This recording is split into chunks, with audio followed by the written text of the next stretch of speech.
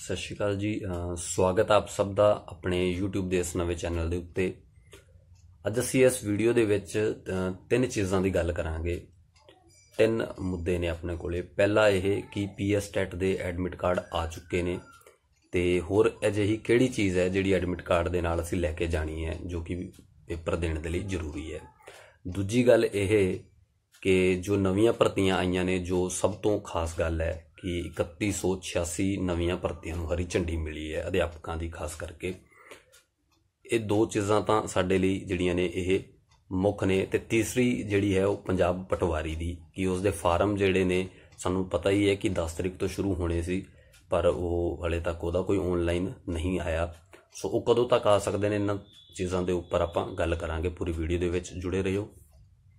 ਸਭ ਤੋਂ ਪਹਿਲਾਂ ਆਪਾਂ ਗੱਲ ਕਰਾਂਗੇ ਕਿ ਪੀਐਸ ਟੈਟ ਦੇ ਐਡਮਿਟ ਕਾਰਡ ਆ ਚੁੱਕੇ ਨੇ। ਸੋ ਤੁਸੀਂ ਉਸ ਨੂੰ ਵੈਬਸਾਈਟ ਤੇ ਜਾ ਕੇ ਡਾਊਨਲੋਡ ਕਰ ਸਕਦੇ ਹੋ ਤੇ ਜਿਹੜੀ ਉਸ ਦੇ ਵਿੱਚ ਸੈਂਟਰ ਦੀ ਕਾਪੀ ਹੈ, ਉਹਦੇ ਉੱਤੇ ਤੁਸੀਂ ਇੱਕ ਫੋਟੋ ਲਾ ਕੇ ਆਪਣੇ ਸਕੂਲ ਜਾਂ ਕਾਲਜ ਦੇ ਕਿਸੇ ਵੀ ਤੁਸੀਂ ਜਾਓ ਸਕੂਲ ਜਾਂ ਕਾਲਜ ਦੇ ਵਿੱਚ ਤੇ ਉੱਥੇ ਉਹਨਾਂ ਦੇ ਪ੍ਰਿੰਸੀਪਲ ਤੋਂ ਉਸ ਨੂੰ ਅਟੈਸਟਡ ਕਰਵਾ ਕੇ ਉਹਨੂੰ ਨਾਲ ਲੈ ਕੇ ਜਾਣਾ ਹੈ ਜੀ।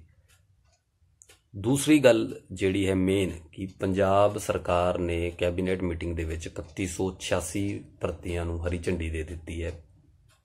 ਪਰ ਉਹ 3186 ਸਾਰੀਆਂ ਹੀ ਜਿਹੜੀਆਂ ਨੇ ਉਹ ਅਧਿਆਪਕਾਂ ਦੀ ਭਰਤੀ ਨਹੀਂ ਹੈ, ਉਹ ਵੱਖਰੇ ਵੱਖਰੇ ਅਸਾਮੀਆਂ ਨੇ ਜਿਨ੍ਹਾਂ ਨੂੰ ਅਸੀਂ ਥੋੜਾ ਡਿਟੇਲ ਦੇ ਵਿੱਚ ਦੇਖਦੇ ਹਾਂ। ਅਹ ਉਹਨਾਂ 3186 ਪੋਸਟਾਂ ਦੇ ਵਿੱਚੋਂ ਜੇਕਰ ਅਸੀਂ ਦੇਖੀਏ ਕਿ 132 ਪੋਸਟਾਂ ਜਿਹੜੀਆਂ ਨੇ ਉਹ ਡਿਪਟੀ ਡਿਸਟ੍ਰਿਕਟ ਐਜੂਕੇਸ਼ਨ ਆਫੀਸਰ ਦੀਆਂ ਨੇ, ਜਿਨ੍ਹਾਂ ਦਾ ਐਲੀਜੀਬਿਲਟੀ ਕ੍ਰਾਈਟੇਰੀਆ ਹਜੇ ਤੱਕ ਕੋਈ ਵੀ ਨੋਟੀਫਿਕੇਸ਼ਨ ਨਹੀਂ ਆਇਆ ਜਿਵੇਂ ਵੀ ਆਏਗਾ ਆਪਾਂ ਉਹਨੂੰ ਅਗਲੀ ਵੀਡੀਓ ਦੇ ਵਿੱਚ ਦੇਖ ਲਵਾਂਗੇ।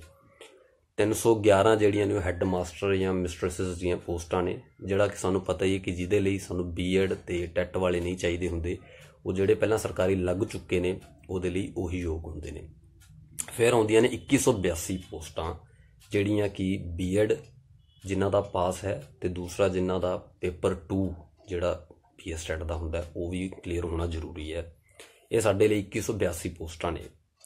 ਉਸ ਤੋਂ ਬਾਅਦ ਪੋਸਟਾਂ ਆਉਂਦੀਆਂ ਨੇ ਜੀ 32 ਪੋਸਟਾਂ, ਬਲਾਕ ਪ੍ਰਾਇਮਰੀ ਐਜੂਕੇਸ਼ਨ ਆਫੀਸਰ ਦੀਆਂ, ਜਿਹੜੀਆਂ ਬੀਪੀਈਓ ਕਿਹਾ ਜਾਂਦਾ ਜਿਸ ਨੂੰ ਤੇ 500 ਪ੍ਰਾਇਮਰੀ ਟੀਚਰ, ਜਿਨ੍ਹਾਂ ਨੂੰ ਐਲੀਮੈਂਟਰੀ ਟ੍ਰੇਨਡ ਟੀਚਰ ਵੀ ਕਿਹਾ ਜਾਂਦਾ ਹੈ।